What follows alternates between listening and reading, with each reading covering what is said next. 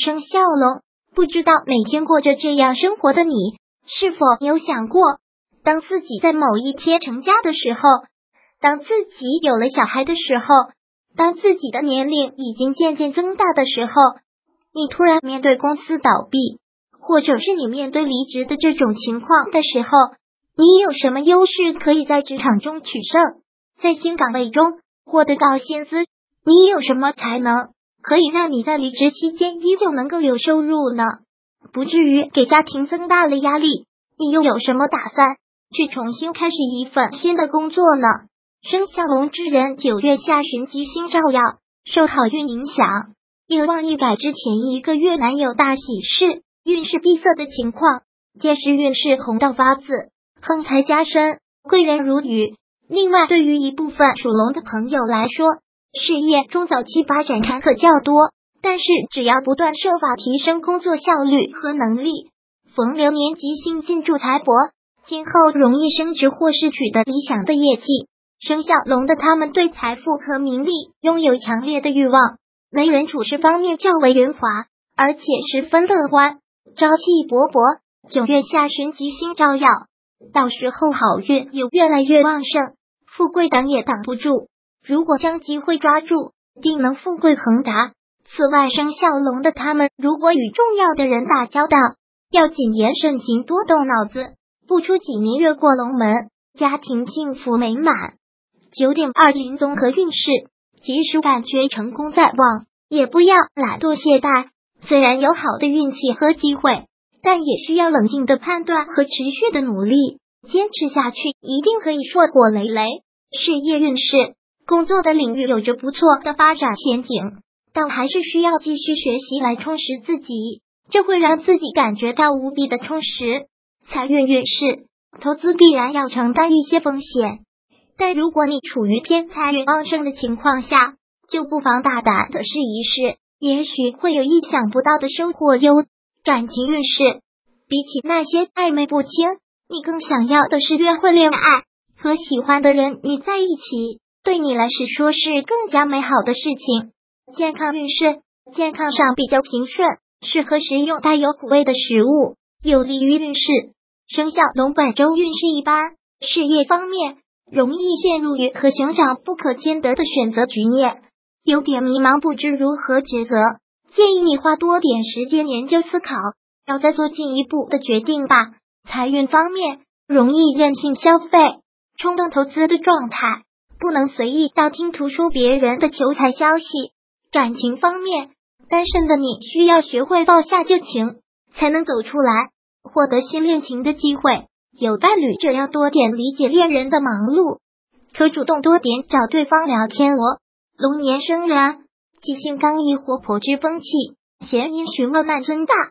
至于长相之意见不合，善恶断分之体，故缺圆满交吉心。做事偏激的反响失败者多，对此欠予矫正修德经术记忆的抑制者，自然的良烟。龙年生人多推论、思索、奋斗，意志强，权威。女子者嫌孤独，自信心强，不容易与他人相处，失去幸福前程。对共同事业难得持久力。少年越为固执，失败，中出恐陷入不正事端惹祸。属龙的朋友。能力出众，精力充沛，争强好胜，不会轻易向困难低头。在过去的时间里，他们的运势处于低迷的状态，难以实现人生理想。在九月，他们的贵人运旺盛，会有很多的贵人为他们的事业提出宝贵的意见，前途不可限量。只要努力付出，注定硕果累累，财源广进，享受荣华富贵。属龙人在三十岁的时候会遇上命中的一劫，这一年在事业上会遭遇很多挫折，最容易被小人所陷害，甚至很多压根不认识的人也跑来捣乱。不仅工作上诸事不顺，名誉也大受影响。这一年会过得很难受，很多事情都陷入僵局。在生意场上尽量低调行事，才能平安度过。属龙的人容易给人带来温馨感。懂得变通，在外混得开。九月中旬吉星照耀，到时候运势大红大紫，进而催发财运。而且运气逐渐旺盛。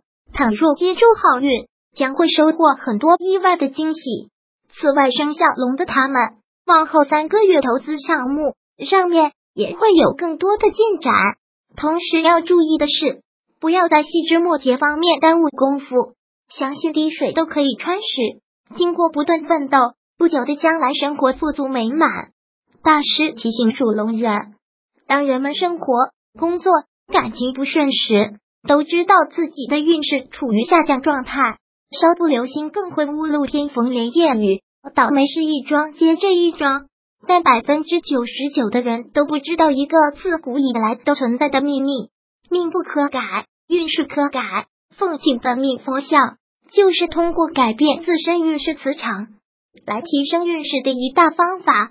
生肖龙人若你感觉近期运气偏弱，小人缠身，厄运缠缠，破大财，可以在家中挂转运手链，这能驱过、辟邪、保平安，还有调节身心、防病祛病、财运大开、化解小人的作用。若是你能虔诚供奉、真心祈祷。定能助你心想事成，带来好运、财运大开和幸福。点击下方蓝色字体查看属于你的本命佛开光吉祥物，拥有它，你将会使得一生聚财、守财、顺利、平安、消灾免难。如果喜欢本视频，请分享并订阅本频道，别忘了按赞哦。